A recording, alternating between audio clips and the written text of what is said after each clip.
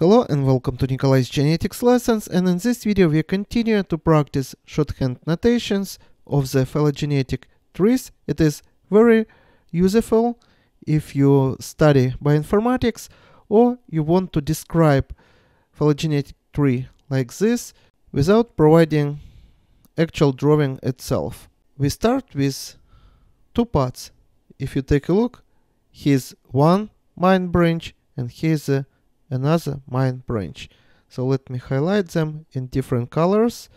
So this is going to be one branch in green color and say in blue color here's going to be another branch and let's highlight all the relationships here.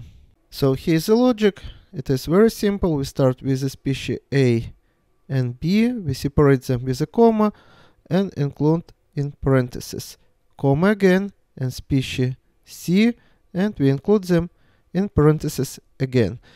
Now this comma stands for this root here, and we open parentheses again, and we have species D and E, so D, comma, E, comma, and next we have species F and G, so we again open parentheses here and we have F and G and comma again and here you see what we call polytomy so we have three species here and this is species H, I and J.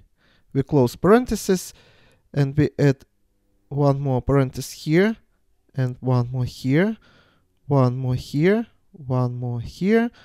And the last step would be to add parentheses here and here. So we have three on this side, four on this side. So this shown in yellow color means that we have described the full phylogenetic tree. And this is all for today. Subscribe and see you in the next video. Goodbye.